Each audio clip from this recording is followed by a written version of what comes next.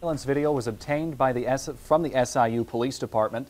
Sergeant Chad Bates says these sort of accidents happen much more than you'd expect. The National Highway Traffic Safety Administration says that nearly 30% of pedestrian crashes are caused by distractions.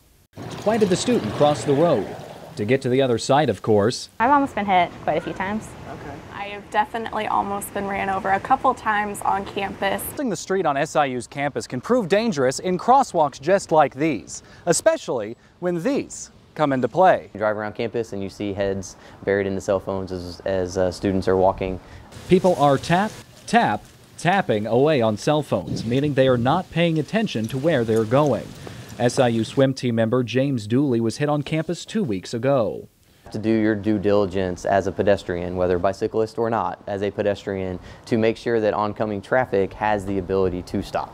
Dooley was cited at fault in the accident. Sergeant Bates says that the speed limit on campus is 20, so vehicles have time to stop most of the time while I'm driving, a lot of the students here too don't use the crosswalks. Mm-hmm. And so there may be a crosswalk two feet away from them, but they'll still just walk in the middle of the road.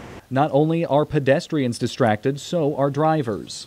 So a lot of the cars are like, well, I want to go. And then, but there's a crosswalk right there. I'll start walking and then they'll just drive. Student Ashley Phelps, who was involved in a pedestrian crash on campus, says that you really have to think for the other person. You're in the street or the sidewalks, like you need to watch out because you have no idea what other people, you kind of have to think for other people. You don't know if this person is about to dart out or make this left or continue straight. You really have to pay attention. I don't think they do that enough. For WSIU's River Region Evening Edition, I'm Collin Dorsey. Listen, I'm 90. When Jerry Collins Simmons of Benton found out she had lung cancer, there was only one way she could describe it. Stunned. The unfortunate truth is that lung cancer is not uncommon in southern Illinois, and while the treatments here rank the same, uh, the mortality is a different story. Dr. Dave Stewart with the Southern Illinois University School of Medicine spoke at the SIH Cancer Institute on the prevalence of cancer in southern Illinois. The difference between the southern 16 counties and the rest of the state is about 40%. That, need, that cries out for some attention, I would think. Every county in southern Illinois shows a higher lung cancer rate than the state and national average. But it's thought that 70 or 80 at least percent of the cause of lung cancer is cigarette smoking. While Jerry was never a smoker, she was exposed to secondhand smoke, and she does have some words for those who do. You make your bed, you lay in it. She found out about her cancer a year and a half ago. Uh, one morning that I had spit up a lot of fresh blood. Once at the hospital, they realized that I had a, a problem. So that's when the tests began. And so began a series of radiation treatments, 33 to be exact. Uh, 13 minutes, you've had your treatment and you're gone. What keeps this fighter fighting? Don't want to have it, so I'm not going to have it. and now her cancer is in remission and is shrinking.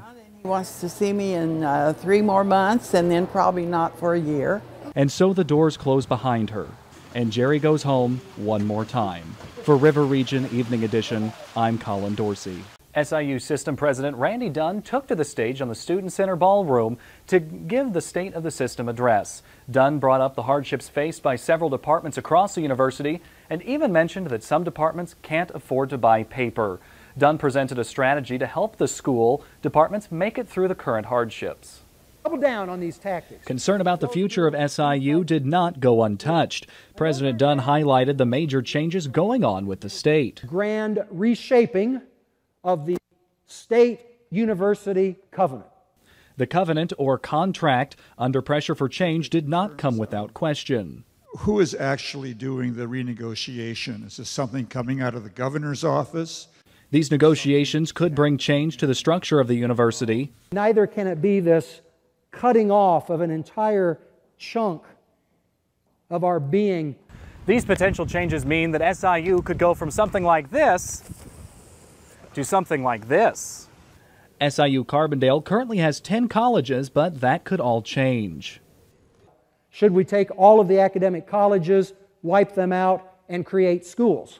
The thought of consolidating colleges has some students like PJ Vaughn concerned. I actually like to think about it just sounds like it's making more complications. We, we still are doing our best to hold that core of what it means to be a university together. Dunn emphasized that the effort to change needs to come from the departments themselves at the university. Live from the newsroom, I'm Collin Dorsey.